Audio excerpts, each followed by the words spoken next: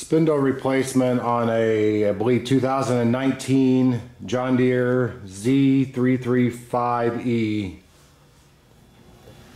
Okay, we're underneath the mower right now, and I'm gonna, I have an 18 millimeter socket. I'm gonna remove these two bolts, one from each blade.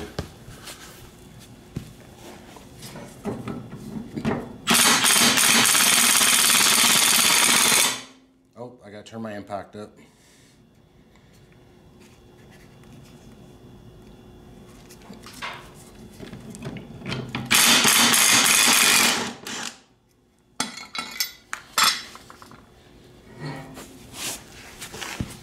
All right, now for the other one.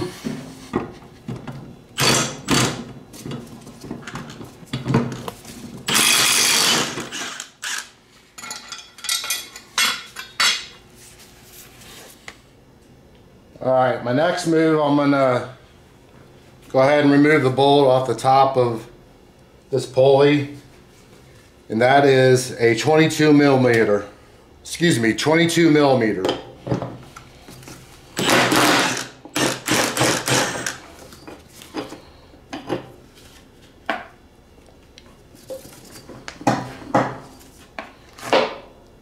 Yeah, I'm gonna do the same for the other side. This one's a 22 millimeter as well.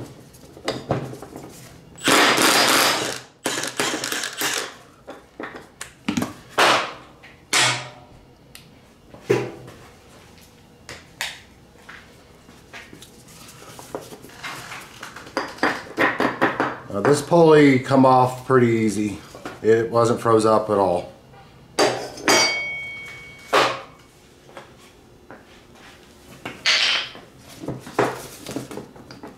Okay, this pulley seems to be growed on a little bit. I already put a little WD on it and it's still, still on there pretty good. So I'm gonna try giving it a tap with a mallet, see if we can get it out. I don't have a puller here.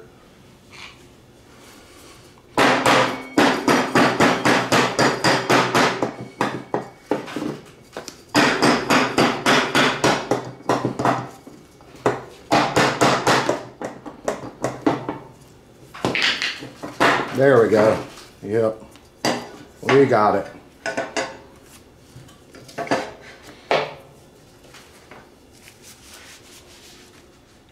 Okay, my next step is I'm going to remove these four nuts right here. And those are 13 millimeter.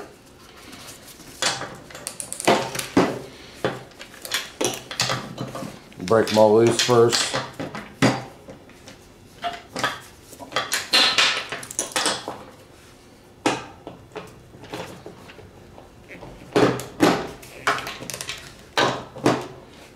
Okay.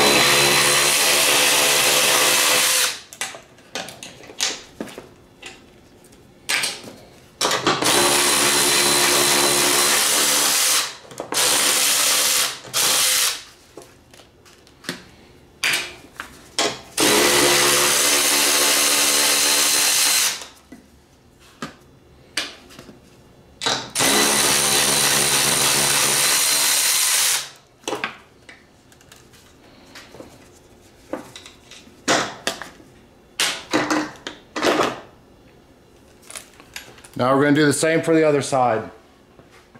Okay, here we are on the other side, same thing. To break them loose. I sprayed these down with WD-40 beforehand. I don't know if that was even necessary, but I don't think it's going to hurt anything. Maybe even help, I don't know. Alright.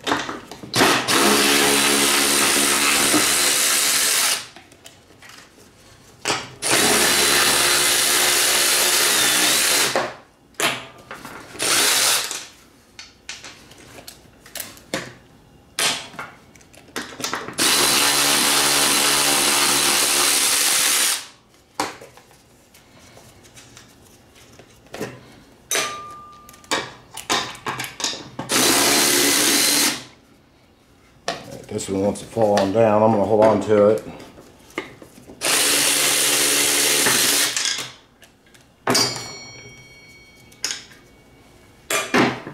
And this should just drop right down.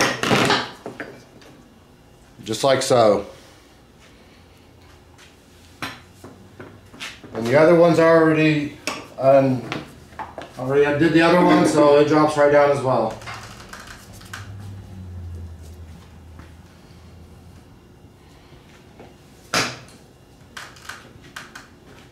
Okay, I just got done scraping off the underneath. It wasn't bad, but just to be safe, I used a scraper here, got rid of anything that was left on the bottom. I'm gonna go ahead and wipe off the top and the bottom, and then we'll go ahead and put the new spindles on. Okay, I'm ready to put the spindle on. I want it facing this in this orientation because the greaser on this side. So I'm gonna go underneath and raise it into place. Grab a nut, and this is a 13 millimeter socket for this. Put a couple nuts on there.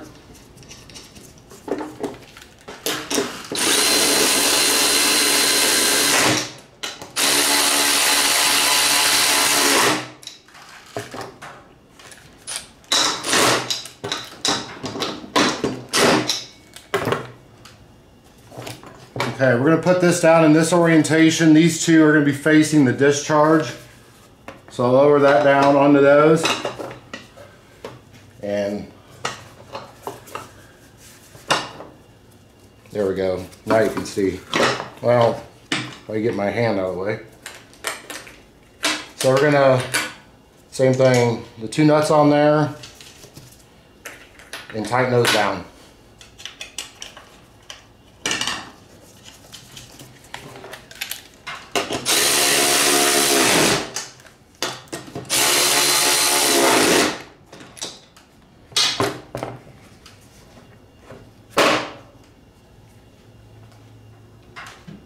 Okay, we're gonna do the same thing on the other side. We're gonna grab our new spindle.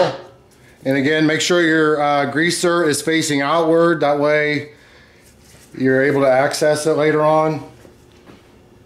Uh, slide it up in.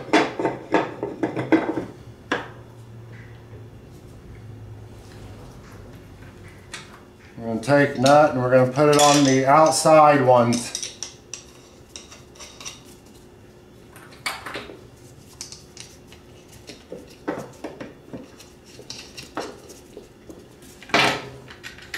Oh. Gotta put my extension on there. Sorry about that.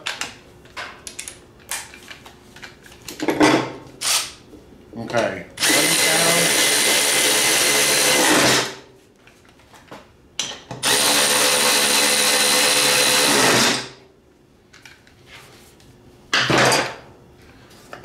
Okay, now we're to put our cover on in this orientation. These two are to go over the farthest facing out.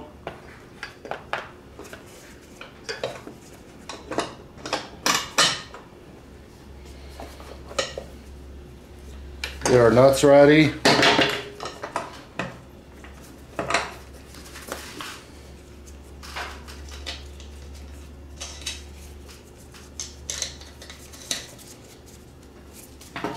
And tighten them down.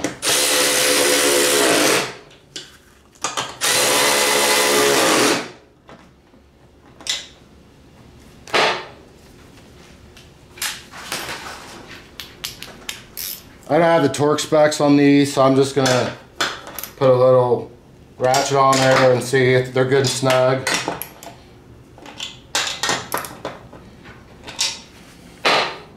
Okay, now we're gonna put our pulleys on. Raise that up. Sit on there. If you could tell, uh, I probably should replace these two. These look a little chewed up. I'm not sure if you can see that, but I didn't get any, so we're gonna go for it. Anyway, these are shaped like this. So you get it on there. Yeah, there's a little play in there. I definitely should have replaced those. I'll have to order some. So put the nut on there. Get it centered. Give it a little ooga dooga.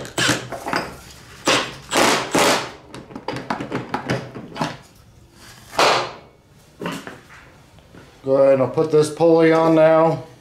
You can probably see this one a little better. It's not as rusty.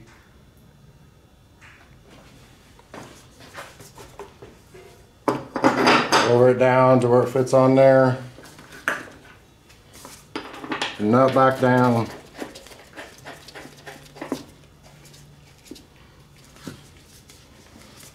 Give it a little ooga dooga.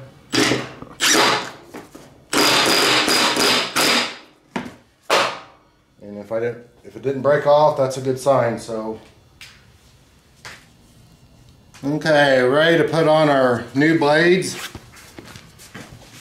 And then bought brand new blades, because like I said, they were starting to bump the very end just tiny bit. So to get through the day, we end up taking a grinder to it and just barely shaving it and it got us through, so.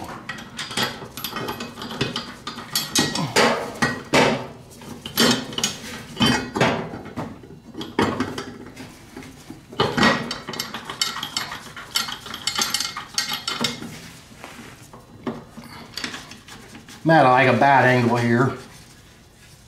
But it is, it is on their center.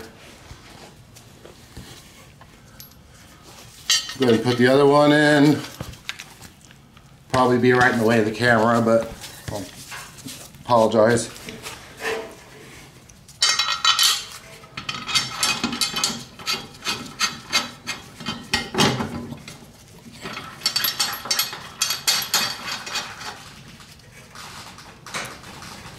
And that one is centered as well.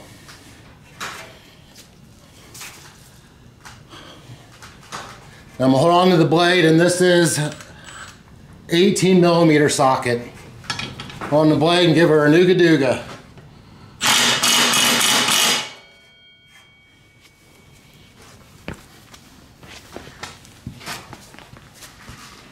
Same with the other side.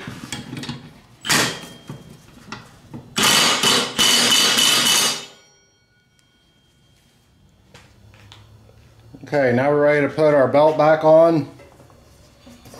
route it through here.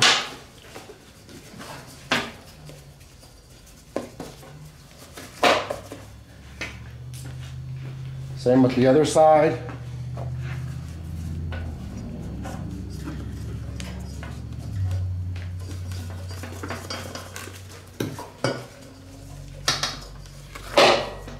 There we go. It's ready to be put back on. Again, the sockets that I use for this job, an 18 millimeter was for the blades. The 22 millimeter was for these pulleys on the spindle. And a 13 millimeter was for the nuts holding the spindle on. So hope, hope that was helpful and thanks for watching. Here's the part numbers for the spindles. I ordered these directly from John Deere. And again, this is for a Z335E. These are the same part numbers. Those are the spindles. And then here's the set of blades.